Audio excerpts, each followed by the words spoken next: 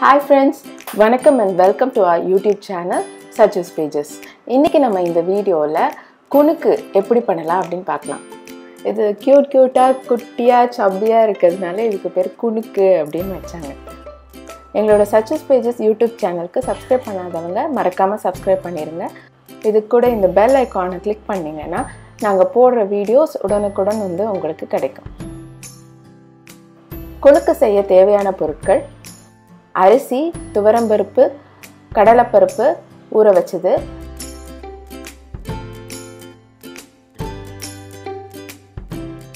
கருவேப்பிலை தேங்காய் வெங்காயம் பெருங்காயம் பச்சை மிளகா காஞ்ச மிளகா இஞ்சி நெய் நறுக்கின கொத்தமல்லி ரவை மிளகுத்தூள். ஃபஸ்ட்டு அரிசி பருப்பை ஊற வச்சுக்கலாம். பச்சரிசி ஒரு கப் துவரம்பருப்பு அரை கப் கடலைப்பருப்பு அரை கப் இதை நல்லா தண்ணியில் ஒரு நாலு மணி நேரம் ஊற வச்சுக்கலாம். பார்த்திங்கன்னா அந்த அரிசி பருப்பு நல்லா ஊறிடுச்சு. இப்போ நம்ம ஊற வச்சுருந்த அரிசி பருப்பு கலவையை ஒரு மிக்சியில் சேர்த்துக்கலாம். இது கூட தேவைக்கேற்ப உப்பு. ரெண்டு காஞ்ச மிளகா ஒரு பச்சை மிளகா ஒரு துண்டு இஞ்சி சேர்த்துக்கலாம்.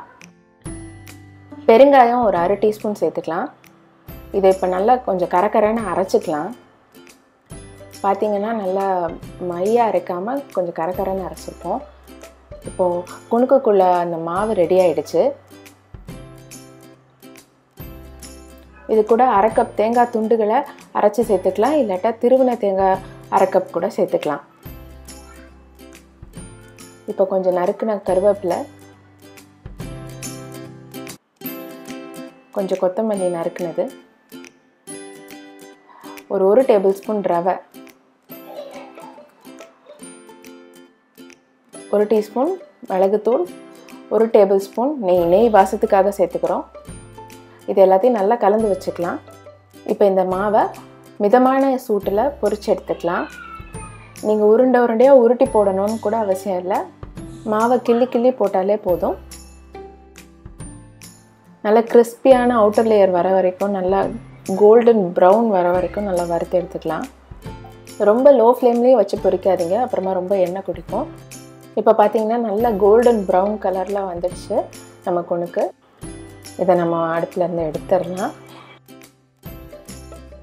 பார்த்திங்கன்னா நல்லா அழகாக ரவுண்ட் ரவுண்டாக கிறிஸ்பியான குணுக்கு ரெடி ஆகிடுச்சு இதோட இன்னொரு வெர்ஷன் என்னென்னா இந்த மாவில் வெங்காயம் சேர்த்தும் நீங்கள் பொரிச்சுக்கலாம். அது இன்னுமே டேஸ்டியாக இருக்கும். நீங்கள் ஈவினிங் ஸ்நாக்காக யூஸ் பண்ணுறீங்கன்னா நீங்கள் வெங்காயம் சேர்த்து பொரிச்சுக்கோங்க. இதுவே நீங்கள் நெய்வேத்தியத்துக்கு வந்து குணுக்கு யூஸ் பண்ணுறீங்க அப்படின்னா இஞ்சி மற்றும் வெங்காயத்தை வந்து தவிர்த்துட்டு நீங்கள் பொரிச்சிடுங்க இப்போ பார்த்திங்கன்னா இன்னொரு வேரியேஷன் குணுக்கு ரெடி ஆகிடுச்சு வெங்காயம் சேர்த்து பொரிச்சது. இப்போ நான் அதை பிச்சு காமிக்கிறேன். பார்த்திங்களா அது உள்ளே நல்ல சாஃப்டாக இருக்குது வெளியில் ஒரு திக்கான கிறிஸ்பி அவுட்டர் லேயர் இருக்குது சூப்பரான கிறிஸ்பியான ரவுண்ட் ரவுண்டாக க்யூட்டாக இருக்கிற குணுக்கு ரெடி ஆகிடுச்சு குணுக்கு அப்படிங்கிறது ட்ரெடிஷ்னலாக வீட்டில் இருக்க அடமாவில் வந்து பொறிச்சு எடுக்கிற ஒரு ஸ்நாக் தான் குணுக்கு. இந்த ரெசிபியை நீங்களும் வீட்டில் ட்ரை பண்ணி பாருங்கள் எப்படி இருந்தது அப்படின்னு சொல்லிட்டு கமெண்ட் செக்ஷனில் எங்களுக்கு சொல்லுங்கள் எங்களோட யூடியூப் சேனலில் நூற்றி ஐம்பதுக்கும் மேற்பட்ட குக்கிங் வீடியோஸ் அவைலபிளாக இருக்குது. எல்லா வீடியோஸையும் போய் பாருங்கள் உங்களோட ஃப்ரெண்ட்ஸ் அண்ட் ஃபேமிலி கூட எங்களோட வீடியோஸை ஷேர் பண்ணுங்கள் சச்சஸ் பேஜஸ்க்கு இது வரைக்கும் சப்ஸ்கிரைப் பண்ணாதவங்க மறக்காமல் சப்ஸ்கிரைப் பண்ணிடுங்க. தேங்க்யூ தேங்க்ஸ் ஃபார் வாட்சிங் த வீடியோ